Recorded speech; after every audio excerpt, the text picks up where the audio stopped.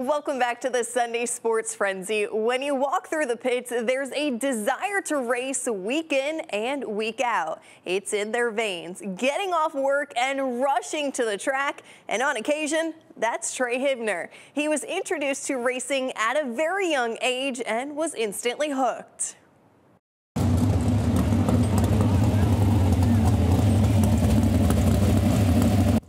Everyone has their unique story of how they got into racing, and it always seems to start with a family connection.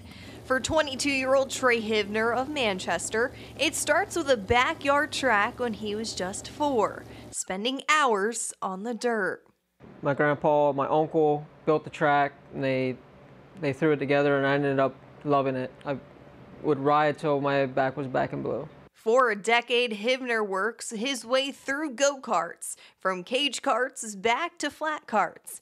Before he's even eligible for his permit, Hivner and his dad makes the decision to jump from go karts to sprint cars. But during that transition period, they take a year off to assemble a 358 sprint car and in time reaches the 410 division. We skipped the, the, the micros and, and anything else in between there. It was, it was straight from go-karts to sprint cars. That's simply because it took a year to build the sprint car just to practice with it.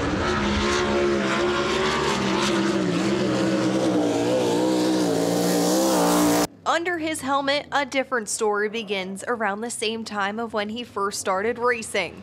Hivner has only 60% of his hearing.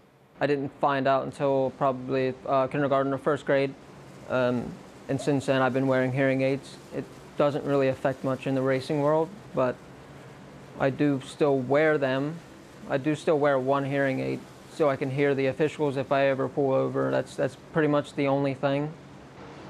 That hearing aids don't affect me too much. During the season, Hivner relies greatly on his team to maintenance the car Thursday nights. His job can be very demanding, long overnight shifts as a millwright and welder, as he's set to begin his fifth season in a 410 with a different motor program. He has hopes of adding a few more area tracks to his resume. It's just something we love doing. It's not something very easy to stop at all.